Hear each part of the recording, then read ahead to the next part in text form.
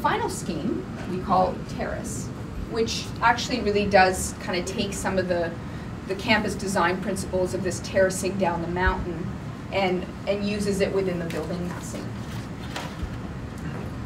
So. So the ground floor of this scheme is also just building services. We don't have a sticker on here, but there's no student occupied space here.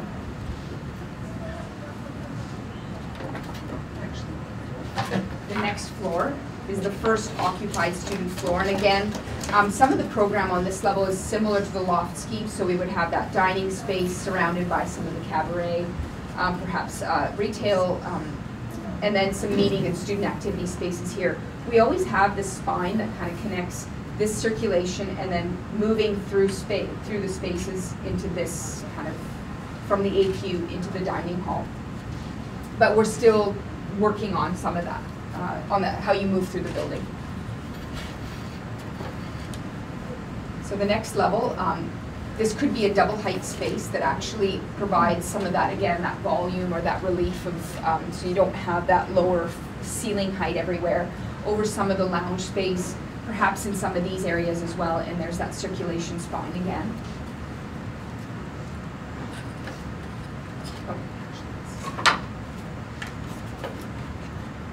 This level is where we connect over to the AQ again, bringing students in. There might be some stair. You can see what's happening, and this creates a double height volume. There might be some student activities in here. Um, and then all of these roof, all of these white areas could actually be occupied roof where you would be able to come out. And so this scheme provides multiple opportunities to be able to use the outdoor spaces or, um, with the multiple level of roof decks. And all of the floors have that opportunity where in, say, the pavilion scheme, you really only had one roof deck. The next floor is, so we might have, this is the top floor.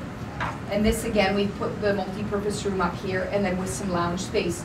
The nice thing is that it, it, this is all, and in all of the schemes where we've kind of located on one floor, it could actually be something that's booked out and it could be some sort of revenue generating type of space that could help the SFSS.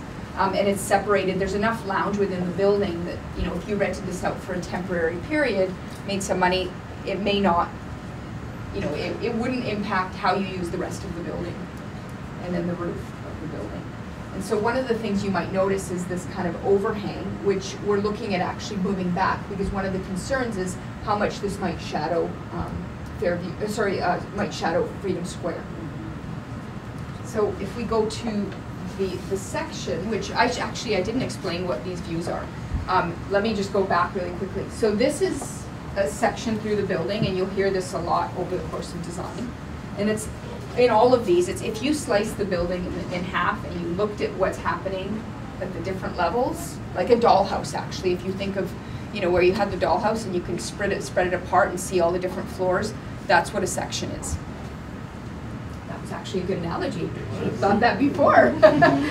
so one of the things about this scheme is that this terracing actually provides this cascading of space and volume and provides that visual connection from the different spaces to be able to see through the building.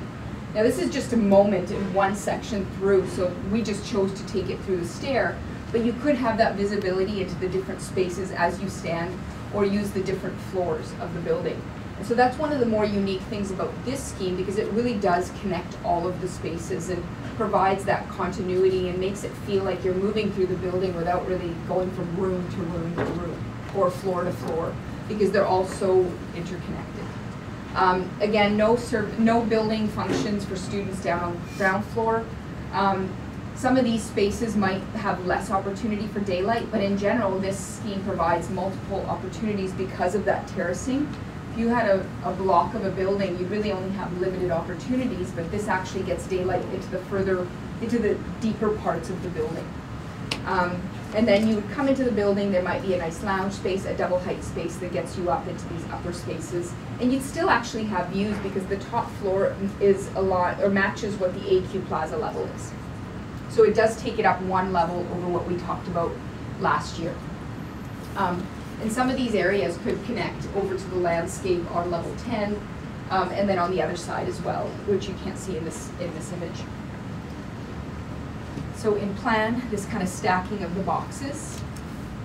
Um, and you can see in here the outdoor space between the two buildings that we would look to maintain. Um, that view from Gaglardi Way. And then this scheme being kind of the most impactful on the Convo Mall view. And so as you walk through, that AQ piece isn't necessarily allowed to be revealed. And, you know, we've, we've heard um, through, we had a design workshop last week with SFU and actually the SFSS, and we heard that that was actually maybe important to maintain that view.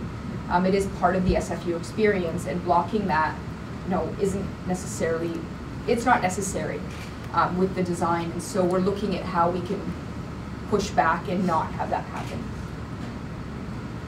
And then standing on Convo Mall, again, providing opportunities for artwork on the underside.